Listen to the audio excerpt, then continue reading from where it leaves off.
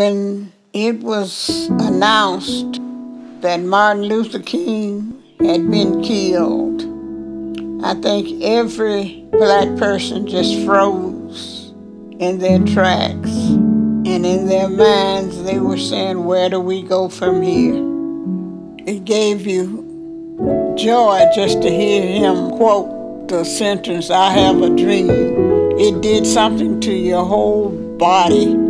Just went from the top of your head to the bottom of your feet. And you would say, This is Martin Luther King. He's speaking.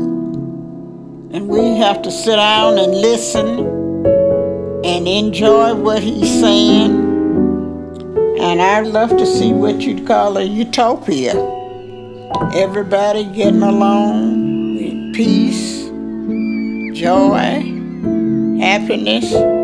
Now, I'm sure 50 years from now I won't be here to see it, but this will be my hope for my grandchildren and their children and their children to come. And we just pray that God will continue to bless, learn to love, love, love each other, regardless of the situation. Thank you.